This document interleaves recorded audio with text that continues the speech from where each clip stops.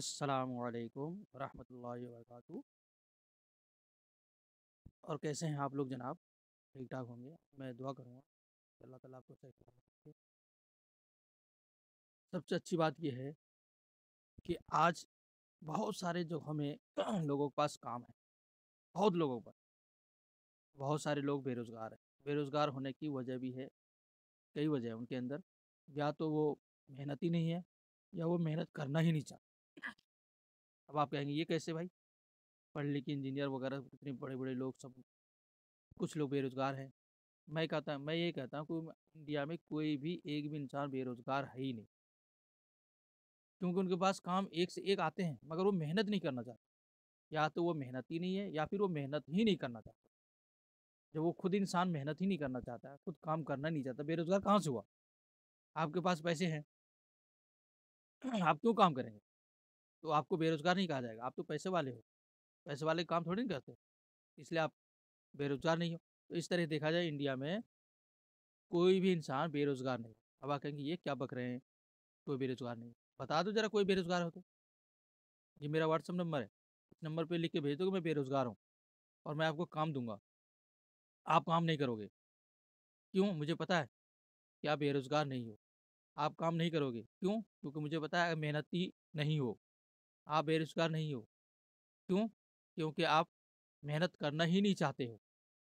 आप बेरोज़गार नहीं हो। क्यों? क्योंकि आपके पास काम बहुत है, बहुत आते काम मगर आप करना ही नहीं चाहते। आप बेरोज़गार ही नहीं हो।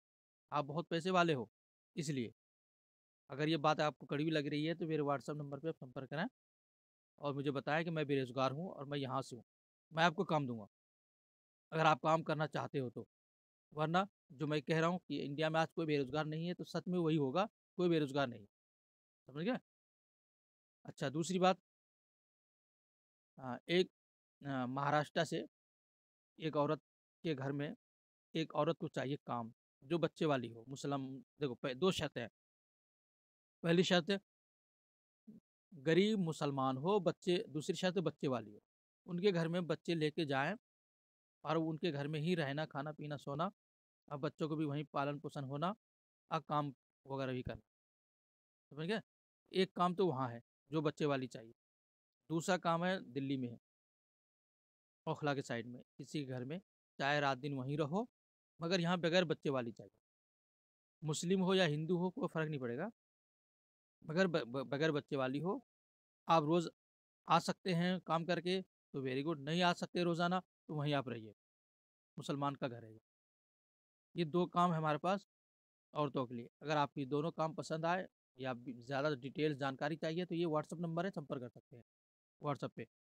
और अपना आधार कार्ड, अपना फ़ोटो भेजना है और क्या क्या काम कर सकती हैं, कितनी उम्र है, ये सब चीज़ें लिख के भेज दीजिए, मैं आगे बात करके भेज दूँगा।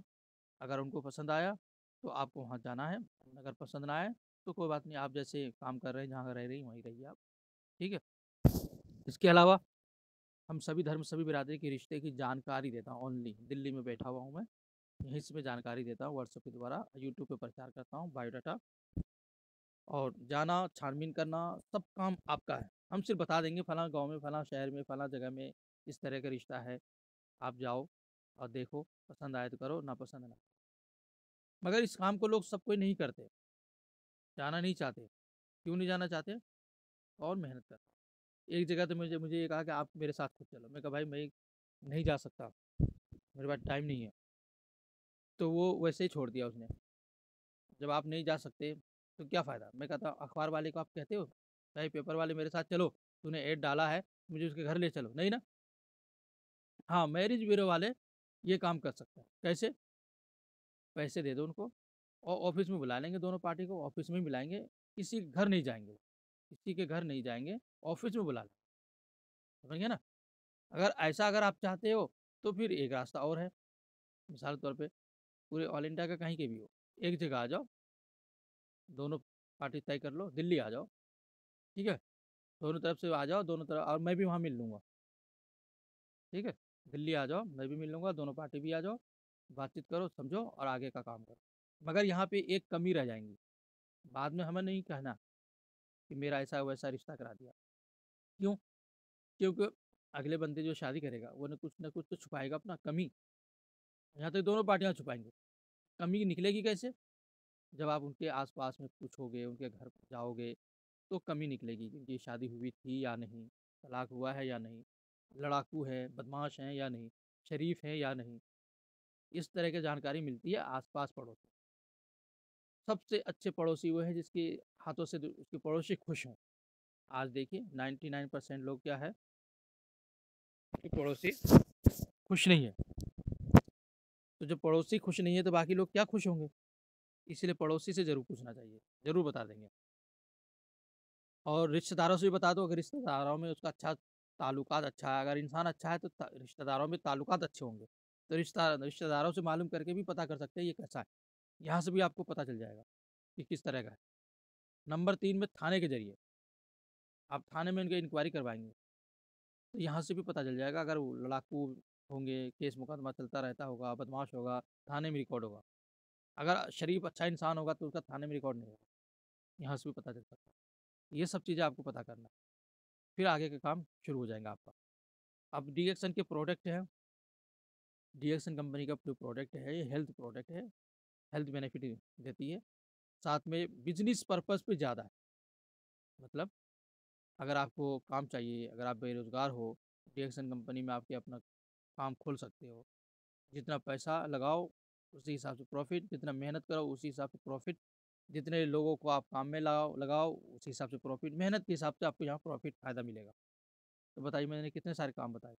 कोई भी इन कामों में आपको पसंद आता है, तो आप देर ना करें, जितनी जल्दी हो ये मेरा व्हाट्सअप नंबर है, आप संपर्क करो। संपर्क करते ही व्हाट्सएप पे आपको सब जानकारी दे दूँगा, आप लिख देना मुझे काम चाहिए या व्हाट्सअप पे लिखना कि मुझे रिश्ता चाहिए या व्हाट्सएप पे लिखना कि मैं काम वाली हूँ, मुझे घर में काम करने वाला काम चाहिए। झाड़ू, बर्तन, खाना-पीना वगैरह। ऐसा आप लिखेंगे तो उसी हिसाब से मैं आपको जवाब दूँगा। हाँ, लोग क्या करते हैं सीधे-सीधे कॉल लगा देते हैं। तो कॉल अगर आप लगाएँ, तो सुबह से लेके 12 बजे तक। 12 बजे के बाद फिर कॉल उठाना बंद कर देता हूँ। मैसेज करता हूँ मैं, आप भी मैसेज करो। क्योंकि फिर मैं ड्यूटी पे चला जाता हूँ, वहाँ बात नहीं कर सकता। फिर रात को आता हूँ नौ साढ़े नौ बजे ड्यूटी से। तो साढ़े नौ बजे के बाद आप कॉल कर सकते हो, मगर इतने सारे मैसेज आए हुए होते हैं, सबका जवाब देना पड़ता है। तो बेहतर यह है कि मैसेज ही करो, ठीक है? अर्जेंट हो तो कॉल करना। और कॉल में एक आदमी के साथ बातें करने लग जाए और मैसेज में एक साथ 4-5 लोगों से मैसेज कर रहा हूँ, कभी इसको जवाब दे रहा हूँ, कभी उसको जवाब दे रहा हूँ। जवाब देने में पाँच सेकंड लगता है, 10 सेकंड लगता है, आप समझ सकते हैं। इसलिए आप बेहतर ये है कि आप कॉल कीजिए मैसेज कीजिए व्हाट्सएप, ठीक है? और टेक्स्ट मैसेज भी भेज सकते हो।